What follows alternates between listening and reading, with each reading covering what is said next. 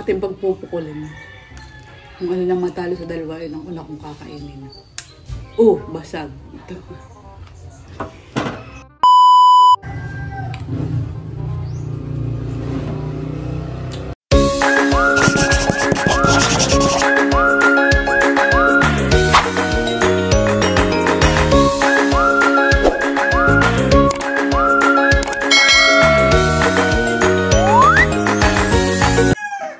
Mga kadilag! Welcome back sa aming YouTube channel. For today's vlog ay meron po tayo ditong itlog ng pugo. At ito po ay ating ilalaga at mumukbangin mga kadilag. So, let's go! Uhugasan na natin mga kadilag itong itlog pugo. Ito nga pala ay 30 pieces. 30 peraso ito mga kadilag para lang kakaunti. Pero si 30. Ayan, si Ashton, gusto yata kumain ng... Ashton, gusto mo din kumain na ito? Ang pugo. Atin mo ng hugasan bago ilaga ang pugo. Hmm, natira pa.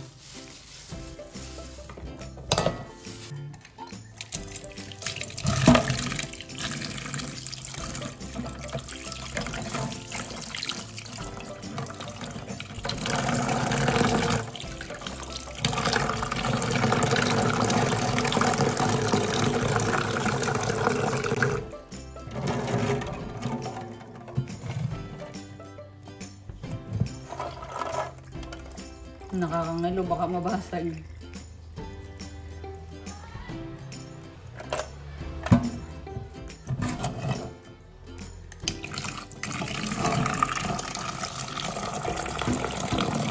Na natin ang tubig. Takpan na natin. Natin ang dadalhin sa lutuan. Salang na natin mga kadilag dito sa apoy. Ang ating pugo. Mabilis lang naman yung ilaga. Tatlo hanggang limang minuto lang mga kadilag. Five minutes later. Kulong-kulo na mga kadilag at lagpas tatlong minuto na din. Bali, 5 minutes na ang inabot ko. Natin na itong aahonin.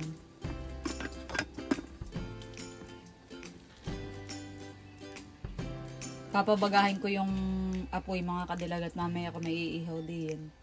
Habang pinapalamig ko mga kadilag yung itlog pugo bago ko balatan, ay ako po ay mag-iihaw ng saging na saba.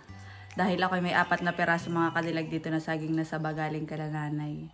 Ito yung saging mga kadilag, akin ang babalatan para diretso ihaw na.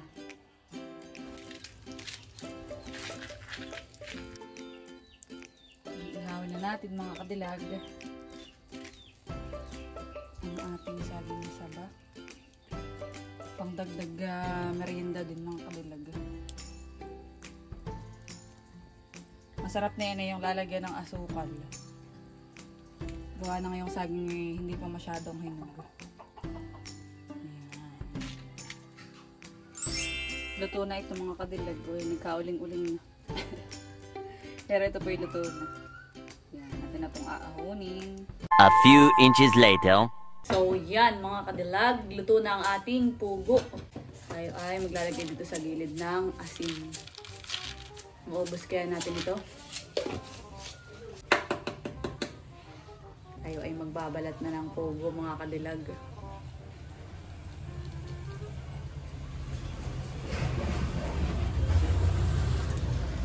Nabaltan ko na yung isang pugo. Maubos kaya natin ito. Paborito ko itong mga kadilag kapag ka nabiyahe ako laging nabili sa stopover. At may nabibili doon na nakalagay sa plastic. Mm.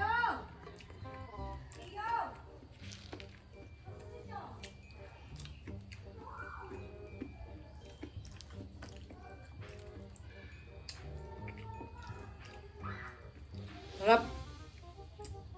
Naggawa nga din pala ako mga kadilag ng sausawan. Ito may sibuyas na may sili tapos ay basta tinimplahan ko siya.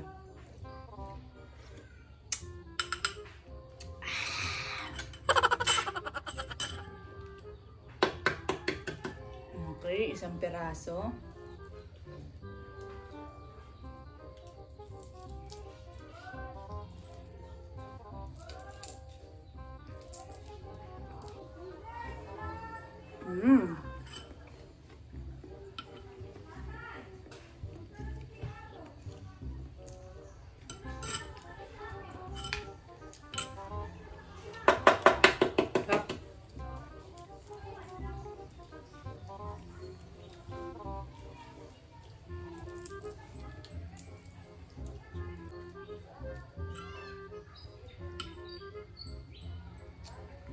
Natin ng asin.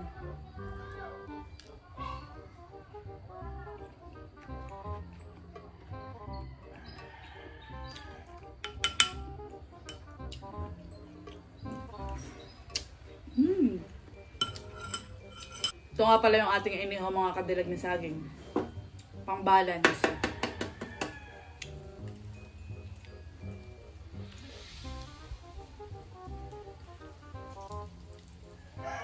Pinaghandaan ko ito ko hindi kumain ng tanghalian mga kadilag.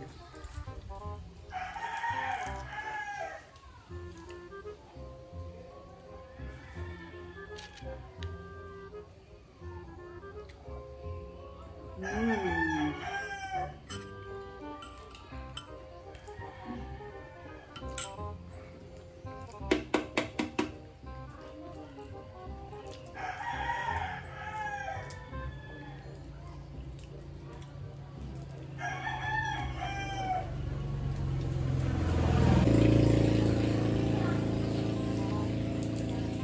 Pag ako'y uma-attend mga kadilag ng kasalan, kasi birthday yan, hindi may mga, minsan may chapsoy.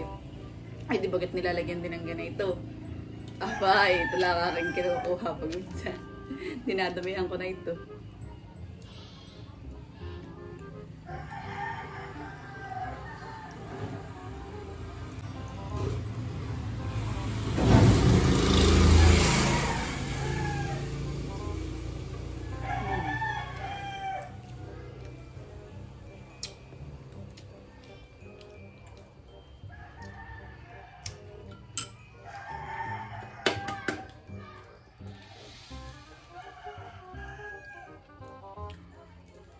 Kaya ako'y nakapagluto ng ganito mga kadilag. Ay ako'y nakakita kahapon sa TikTok ng nagmumukbang ng ganito. Kasi siya yung pogo na parang balot na. Pogulot yata ang tawag doon. Okay, parang sarap na sarap yung nagmumukbang. Sabi ko, sakto, paborito ko din ang pogo ay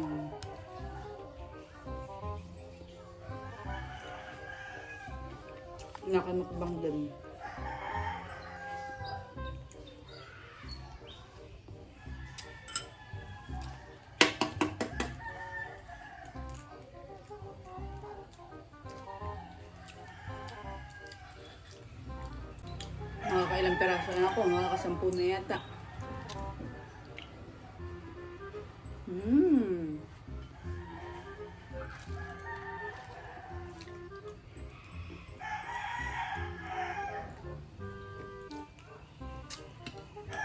Titingnan mo lang ay parang kakaunti mga kadilag. Pero ito 30 pieces ah.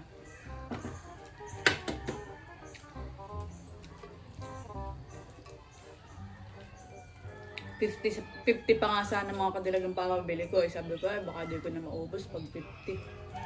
Kaya ginawa ko lang 30.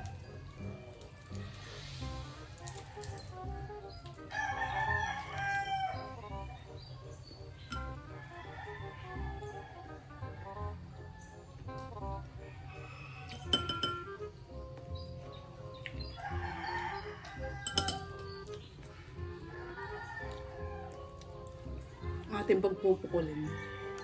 Kung ano lang matalo sa dalawa, yun ang una kong kakainin. Oh, basag. Ito. Dito sa amin mga kadilagay, wala pa akong nakikita nagpupugulot. Yung pugo nga na ginagawang balot.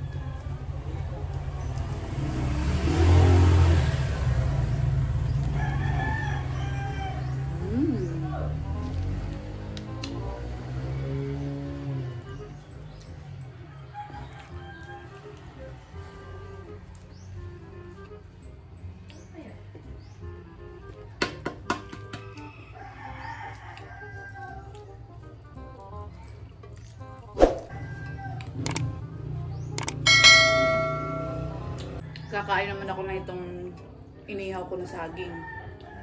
Tapos inilagyan ko itong mga kadilag ng asukal.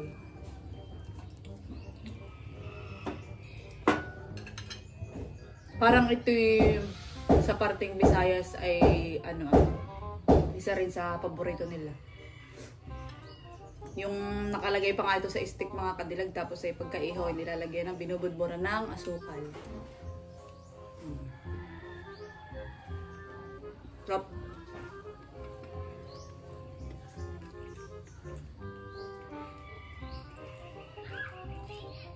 Nasa taas na yung post ako mga kagalaw. Gusto rin makamakbang.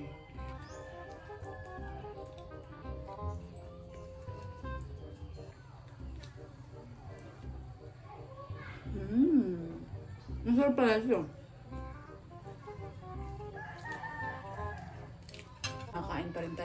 Kadilag ng.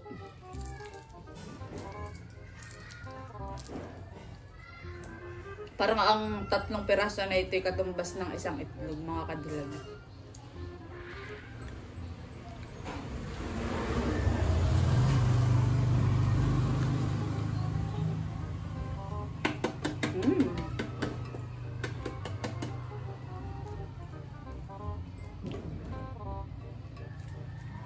Gusto ko talagang matikman na ganito mga kadilag yung pugulot to. Sana yung susunod mga kadilag ay mayroong magtinda dito ng ganito. Hindi pa talaga ako nakakatikim na yun.